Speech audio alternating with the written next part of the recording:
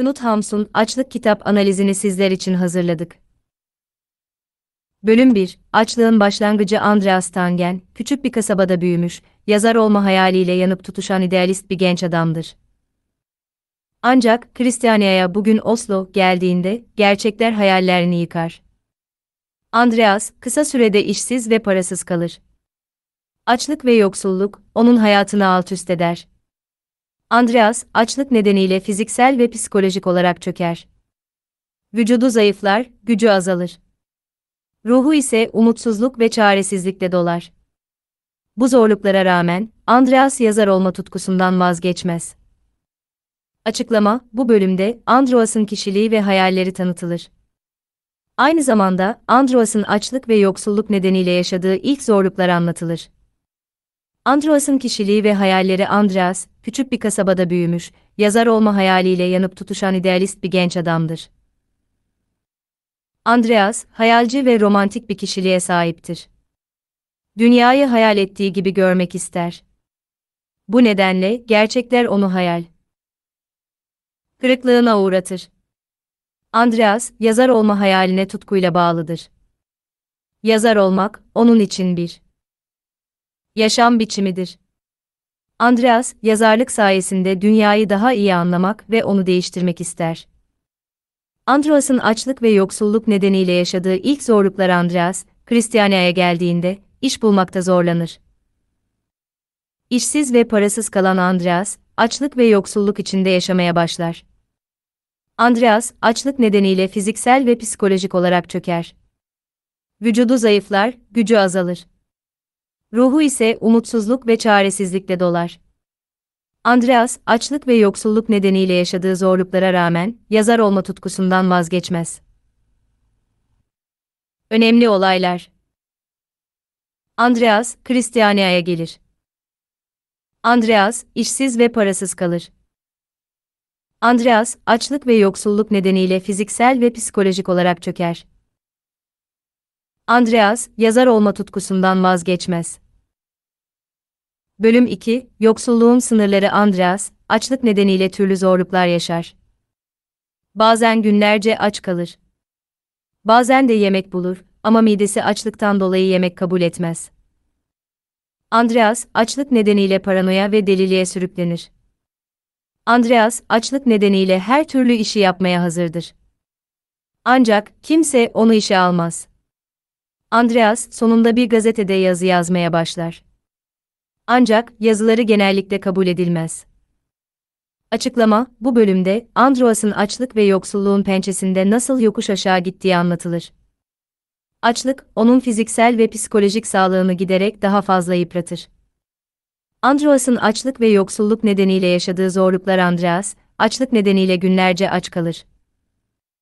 Bazen bir parça ekmek için saatlerce sokaklarda dolaşır. Ancak çoğu zaman eli boş döner. Andreas, açlık nedeniyle paranoya ve deliliğe sürüklenir. Gerçek dünyayı gerçek dışı bir şekilde algılamaya başlar. Andreas, açlık nedeniyle her türlü işi yapmaya hazırdır. Ancak kimse onu işe almaz. Andreas sonunda bir gazetede yazı yazmaya başlar. Ancak yazıları genellikle kabul edilmez. Önemli olaylar. Andreas açlık nedeniyle günlerce aç kalır.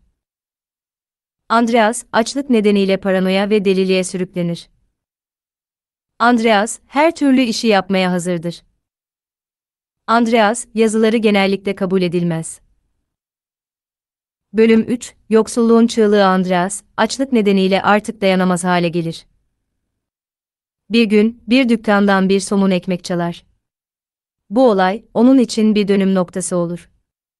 Andreas, artık açlık ve yoksulluk karşısında boyun eğmeyeceğine karar verir. Andreas, bir fabrikada çalışmaya başlar. Ancak çalışma koşullarının ağırlığı karşısında kısa sürede fabrikadan ayrılır. Andreas sonunda bir evin bodrumunda yaşamaya başlar. Açıklama, bu bölümde Andreas'ın açlık ve yoksulluk karşısında verdiği mücadele anlatılır. Andreas artık açlık ve yoksulluğun kölesi olmaya razı değildir. Andreas'ın açlık ve yoksulluk karşısındaki mücadelesi Andreas, açlık ve yoksulluk nedeniyle fiziksel ve psikolojik olarak çöker. Ancak bu zorluklara rağmen asla pes etmez. Andreas, açlık ve yoksulluk karşısında savaşmaya karar verir. Bir gün, bir dükkandan bir somun ekmek çalar. Bu olay, Andreas'ın için bir dönüm noktası olur. Andreas, artık açlık ve yoksulluk karşısında boyun eğmeyeceğine karar verir. Andreas, bir fabrikada çalışmaya başlar. Ancak çalışma koşullarının ağırlığı karşısında kısa sürede fabrikadan ayrılır. Andreas, sonunda bir evin bodrumunda yaşamaya başlar. Önemli. Olaylar Andreas, açlık nedeniyle bir dükkandan ekmek çalar. Andreas, bir fabrikada çalışmaya başlar. Andreas, çalışma koşullarının ağırlığı nedeniyle fabrikadan ayrılır. Andreas, bir evin bodrumunda yaşamaya başlar. Bölüm 4, Yoksulluğun sonu Andreas, açlık ve yoksulluk içinde geçen bir yılın ardından, sonunda dayanamaz hale gelir. Hastalanır ve bir hastaneye kaldırılır. Hastanede iyileştikten sonra bir kadınla tanışır. Kadının sevgisi, Andreas'a yaşamak için yeni bir umut verir. Andreas, kadınla birlikte bir yola çıkar. Yolculuk sırasında, Andreas'ın içinde bir yazar doğmaya başlar.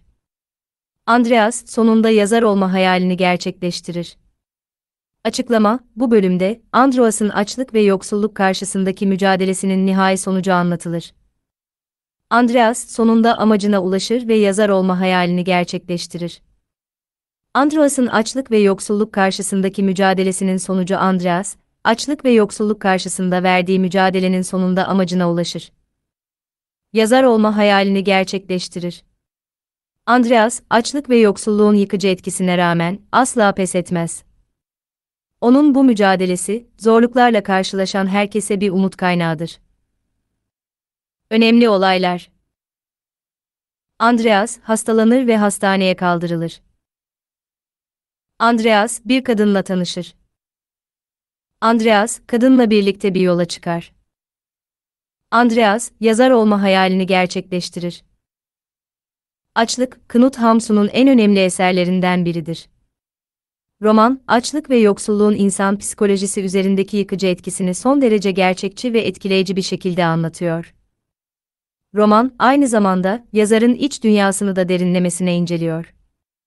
Romanın baş karakteri Andreas Tangen, yazar olma hayaliyle yanıp tutuşan idealist bir genç adamdır. Andreas, fiziksel ve psikolojik olarak zayıf ama aynı zamanda cesur ve kararlı bir karakterdir. Açlık ve yoksulluk nedeniyle zor günler geçirir ama asla pes etmez. Roman, açlık ve yoksulluğun insan psikolojisi üzerindeki yıkıcı etkisini gözler önüne seriyor. Açlık, insanın fiziksel ve psikolojik sağlığını olumsuz etkiler. Açlık ve yoksulluk içinde yaşayan insanlar, paranoya, delilik ve hatta intihar gibi ciddi sorunlarla karşı karşıya kalabilirler. Roman, aynı zamanda, yazarın iç dünyasını da derinlemesine inceliyor. Andreas Tangen, Knut Hamsun'un kendi hayatından izler taşıyan bir karakterdir. Hamsun, Andreas'ın kişiliğinde ve yaşadıklarında kendi yazarlık yolculuğunu yansıtıyor. Açlık, 20. yüzyıl edebiyatında açlık, yoksulluk ve yazarlık gibi temaları işleyen birçok esere ilham kaynağı oldu. Roman, modern edebiyatın öncülerinden biri olarak kabul ediliyor. Her bölümün ana fikri. Bölüm 1: Açlığın başlangıcı. Androas'ın yazar olma hayaline kavuşmak için Kristiania'ya gelmesi ve açlık ve yoksulluk içinde yaşamaya başlaması. Bölüm 2: Yoksulluğun sınırları. Androas'ın açlık ve yoksulluk nedeniyle fiziksel ve psikolojik olarak çökmesi. Bölüm 3: Yoksulluğun çığlığı. Androas'ın açlık ve yoksulluk karşısında verdiği mücadele. Bölüm 4: Yoksulluğun sonu. Androas'ın açlık ve yoksulluk karşısındaki mücadelesinin sonucu. Karakterler ve hikayeye katkıları Andreas Tangen. Romanın baş karakteridir. Yazar olma hayaline tutkuyla bağlıdır. Açlık ve yoksulluk karşısında verdiği mücadele, onu daha güçlü ve kararlı bir karaktere dönüştürür. Andreas, romanın ana karakteridir. Küçük bir kasabada büyümüş, yazar olma hayaline yanıp tutuşan idealist bir genç adamdır. Andreas, hayalci ve romantik bir kişiliğe sahiptir. Dünyayı hayal ettiği gibi görmek ister. Bu nedenle gerçekler onu hayal kırıklığına uğratır.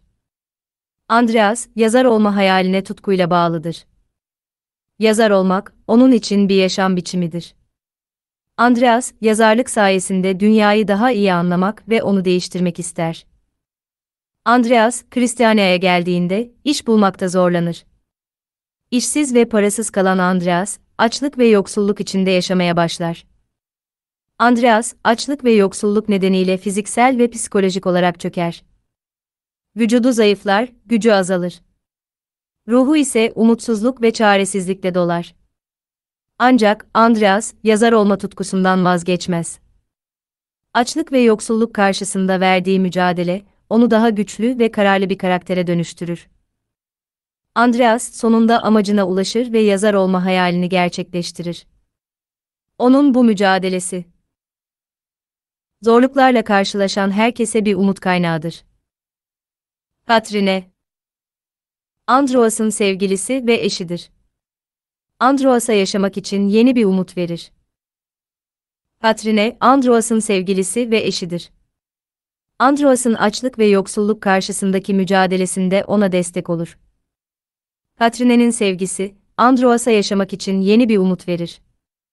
Katrine, Androas'ın yazar olma hayalini de destekler.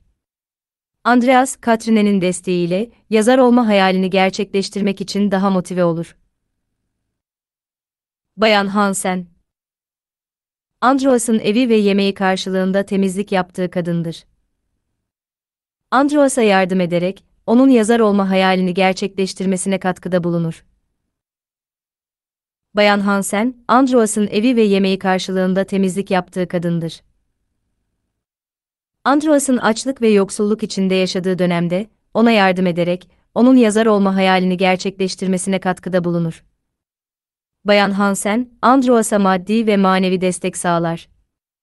Andreas, Bayan Hansen'in desteğiyle, yazar olma hayalini gerçekleştirmek için daha iyi koşullara kavuşur.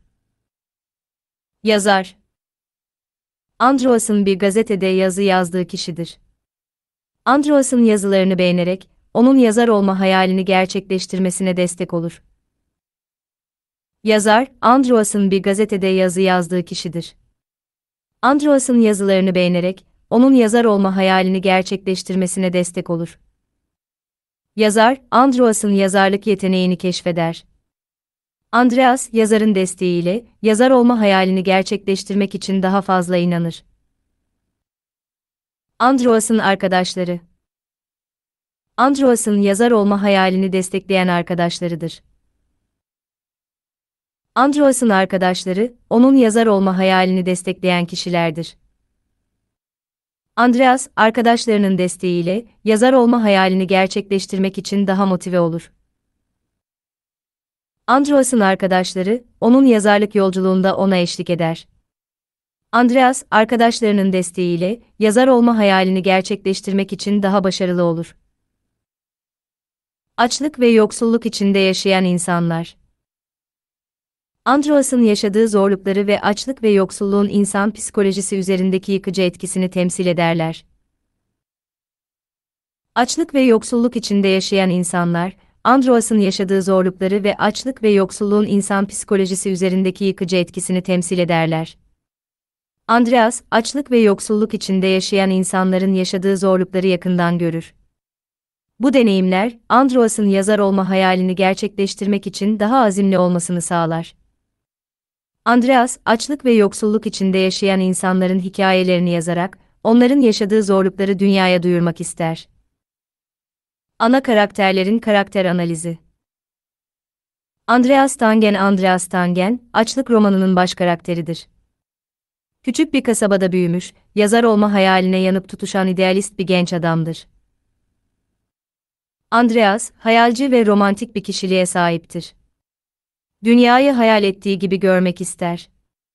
Bu nedenle gerçekler onu hayal kırıklığına uğratır. Andreas, yazar olma hayaline tutkuyla bağlıdır. yazar olmak, onun için bir yaşam biçimidir. Andreas, yazarlık sayesinde dünyayı daha iyi anlamak ve onu değiştirmek ister. Andreas, Christiania'ya geldiğinde, iş bulmakta zorlanır. İşsiz ve parasız kalan Andreas, açlık ve yoksulluk içinde yaşamaya başlar. Andreas, açlık ve yoksulluk nedeniyle fiziksel ve psikolojik olarak çöker. Vücudu zayıflar, gücü azalır. Ruhu ise umutsuzluk ve çaresizlikle dolar. Ancak Andreas, yazar olma tutkusundan vazgeçmez. Açlık ve yoksulluk karşısında verdiği mücadele, onu daha güçlü ve kararlı bir karaktere dönüştürür. Andreas sonunda amacına ulaşır ve yazar olma hayalini gerçekleştirir. Onun bu mücadelesi zorluklarla karşılaşan herkese bir umut kaynağıdır. Andreas'ın karakter analizi şu şekilde yapılabilir. Güçlü yönleri Yazar olma hayaline tutkuyla bağlıdır. Kararlı ve azimli bir karaktere sahiptir. Zorluklara karşı dirençlidir. İnsani duygulara karşı hassastır. Zayıf yönleri Hayalci ve romantik bir kişiliğe sahiptir. Gerçeklerden kaçmaya çalışır. Maddiyata önem vermez. Katrine Katrine, Androas'ın sevgilisi ve eşidir. Androas'ın açlık ve yoksulluk karşısındaki mücadelesinde ona destek olur. Katrine'nin sevgisi, Androas'a yaşamak için yeni bir umut verir. Katrine, Androas'ın yazar olma hayalini de destekler. Andreas, Katrine'nin desteğiyle, yazar olma hayalini gerçekleştirmek için daha motive olur. Katrine'nin karakter analizi şu şekilde yapılabilir. Güçlü yönleri, sevgi dolu ve şefkatli bir karaktere sahiptir. Yardımsever ve cömerttir.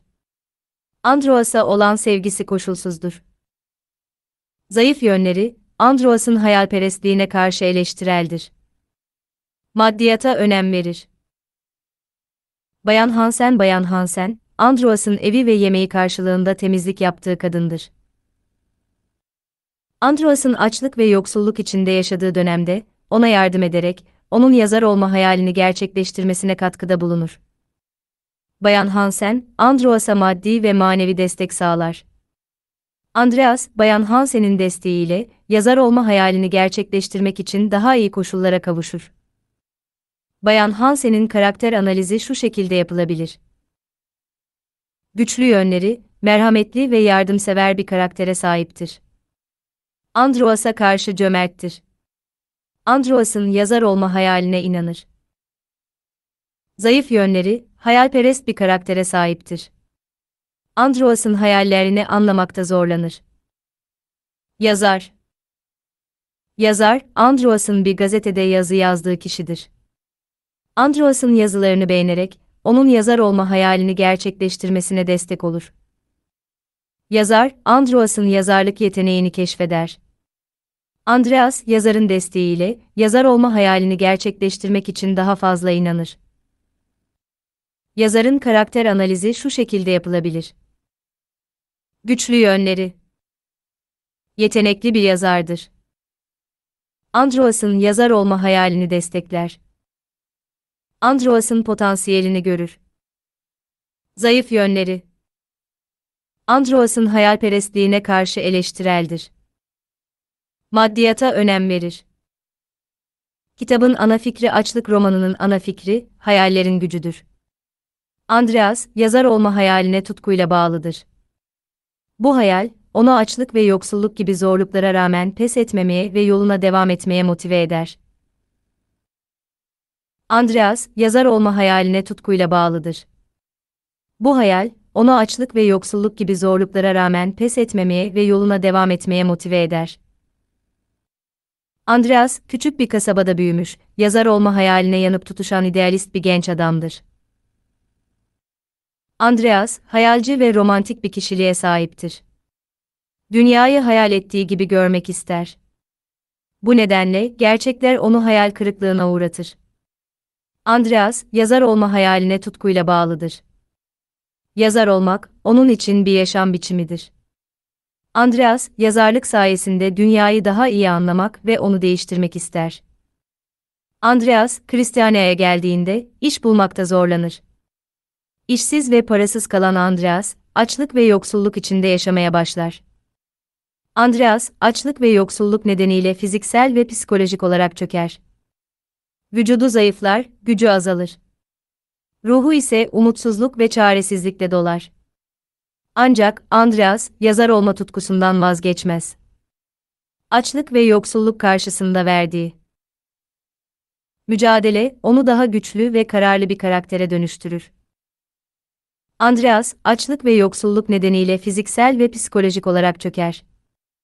Ancak bu zorluklara rağmen yazar olma tutkusundan vazgeçmez.